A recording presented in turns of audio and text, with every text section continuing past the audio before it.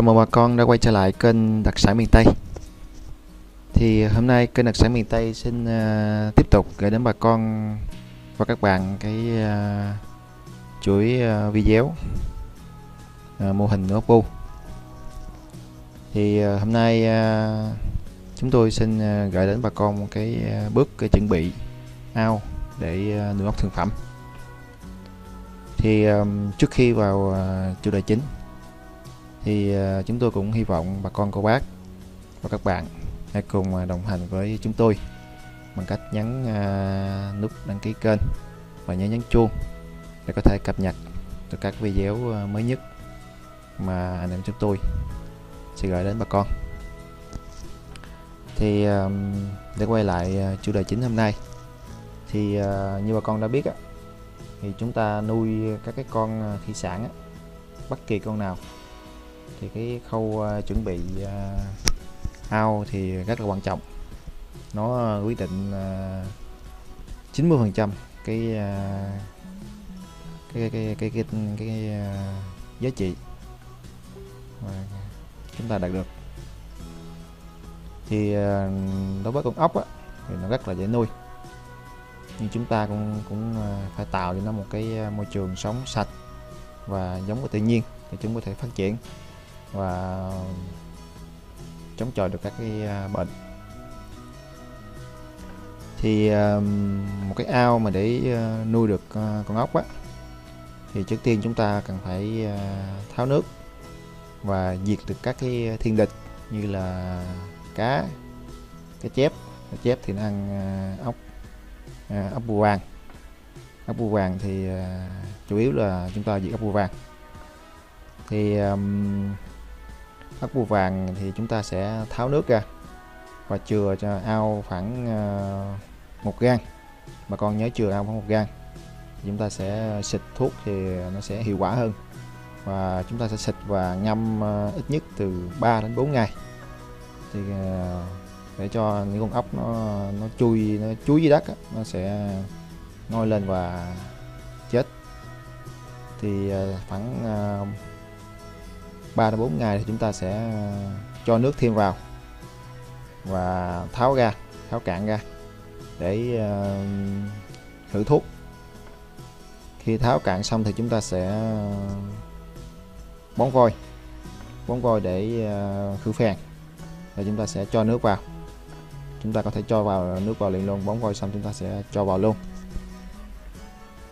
Thì um, sau khi cho nước vào thì chúng ta sẽ ờ, tiến hành trồng các cái cây ờ, thủy sinh. Thì như bà con đã biết á con ốc á, thì nó ờ, nó không như các cái loài khác. Thì chúng ta nuôi chúng ta càng phải có các cái cây thủy sinh để chúng bám vào các cái giá thể để chúng bám vào. Thì bà con có thể thả lục bình thả bèo thả rong Ờ, có thể trồng à, rau muống trồng bông súng. Thì ở đây anh em chúng tôi chọn cái giải pháp là trồng bông súng và rau muống. Thì trong cái bông súng thì nó rất là có lợi cho việc nuôi ốc bu. Thì um, ốc bu nó rất thích ăn cái lá bông súng uh, lá già đấy và các cái bông. Cái bông khi mà nó tàn thì nó nó nó, nó, nó phân hủy ra thì ốc nó thể ăn luôn và chúng uh, ốc con nhân ốc có thể đeo vào cái ờ, các lá súng để uh, bám vào đây để để để để, để, để sống. Thì um, còn mấy bờ thì anh em chúng tôi trồng uh, rau muống. Thì để để để uh, chuẩn bị một cái uh, ao để trước khi thả thì chúng tôi uh, mất khoảng 3 tuần. Thì sau khi uh, trồng uh, các cây sinh được hai tầng. Thì trước khi thả một tầng thì bà con phải cắt cỏ và thả xuống. Các con bờ cặp mấy bờ này thả xuống và bón thêm ờ, phân ờ, phân ờ, phân bò. Sau một tuần chúng ta sẽ thả ốc để chúng có các cái thức ăn tự nhiên à, chúng ăn. Thì à, sắp tới thì đây là chúng tôi đã trồng súng rồi. Sắp tới chúng tôi sẽ thả thêm à, bèo để chúng ổn định nước bèo và lập bình để chúng ổn định à, lọc nước. À, đây, chúng tôi à, xin giới thiệu là lại cái ao cái ao nuôi ốc bố mẹ của chúng tôi. Đây bèo bèo bèo tây. Một súng thì cũng đang phát triển.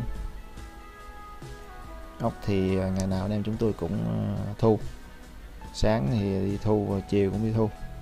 Chúng đẻ rất là nhiều. Nói chung là nuôi ốc này thì rất là nhàn. Giống thì chúng ta chỉ cần à, mua một lần. Thì con giống thì anh em chúng tôi cung cấp. Giá cả thì à, tùy theo à, loại thôi. Ồ, đây đây.